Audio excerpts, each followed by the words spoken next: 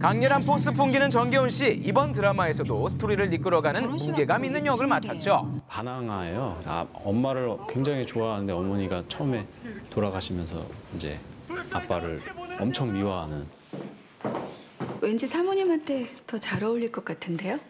그리고 정겨운 씨의 바라는 약혼 것 같아요? 여의자 우아한 이러니까 교수 홍윤희 역의 손태영 씨까지 합류. 드라마의 긴장감을 더하며 기대를 모으고 있는데요. 이 캐릭터의 어떤 모습에 좀 끌리시게 됐었어요? 제가 가지고 있지 않은 그 자존심도 세면서 당당하게 말하고 좀 직설적인 게 저는 조금 되게 매력이 있었거든요. 그럼 약간 스트레스 받은 거를 역할을 통해서 또 풀 수도 있고 저 소리 지르고 뭐 이런다거나 약간 좀 나오셨는데 요즘 쌓이신 게 요즘에 아니요 남편 사랑해요. 어, 그 질문 남편 얘기 아닌데. 네. 다섯 분을 좀 더 심층적으로 알아보기 위해 준비한 이미지 토크. 다섯 분 중 지인에게 소개팅을 시켜주고 싶은 사람은 하나, 둘, 셋. 어, 네. 아, 어, 잠깐만요. 어, 엄정화 씨 두 표, 그리고 정경훈 씨 두 표예요. 아 진짜? 네. 고마워요. 한 번씩은 조금 외로워 보이는 것 같아요. TV에서도 티가 나요? 선배님 굉장히 취미 활동하시는 거 좋아하고 즐거운 거 좋아하시는 것 같아서 그 친구 친구는 이제 충분해.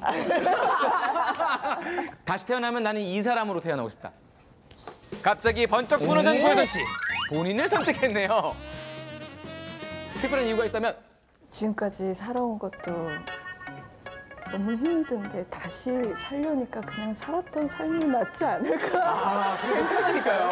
네. 어떻게 했는지 아니까. 네, 네. 우리나라의 어떤 획을 그으셨던 것 같아요. 연기도 잘하시고 어, 노래도 엄청 잘하셨고 어떤 삶일까 좀 궁금하기도 하고 그래서 좀 얘기를 해주세요.